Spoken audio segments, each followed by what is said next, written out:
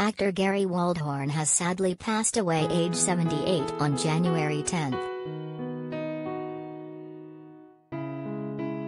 The actor appeared as Counselor David Horton in every episode of the popular sitcom, Vicar of Dibley.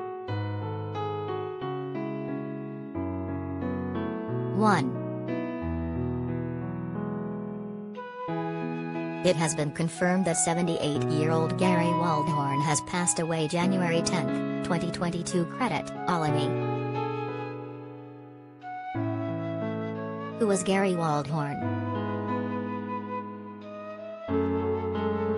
Gary Waldhorn was a 78-year-old English actor and comedian.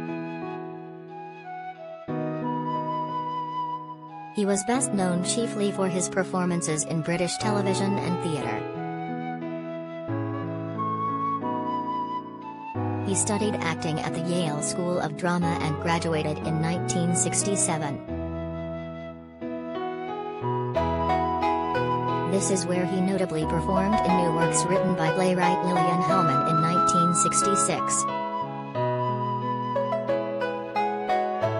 While he was attending Yale, he met fellow student Christy Dickinson, who later became his wife. The couple have one son together, Joshua David Waldhorn, born in 1970 in London. Gary is known for his work in West End theatre productions and for his collaborations with the Royal Shakespeare Company. His death was confirmed earlier today, January 11, in a statement from his son Josh. He said, classically trained, it was the theater where he truly flourished and he leaves a legacy of entertainment that saw him frequent the boards of Broadway, the West End and our living rooms on the telly.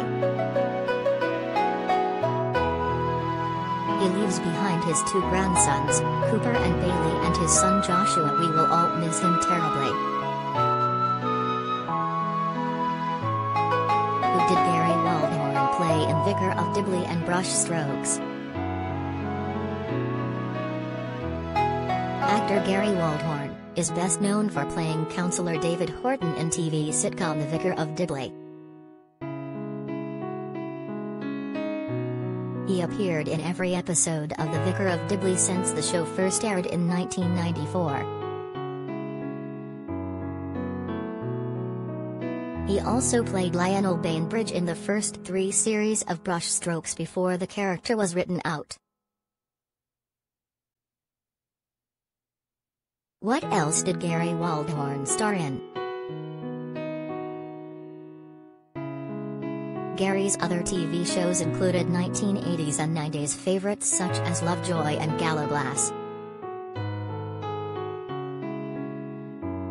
He is also best known for his appearances in Escape to Victory, 1981, and Brush Strokes, 1986.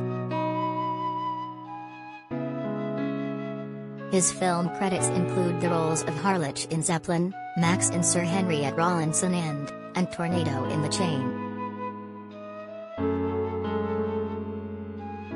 He was also very active with the Royal Shakespeare Company.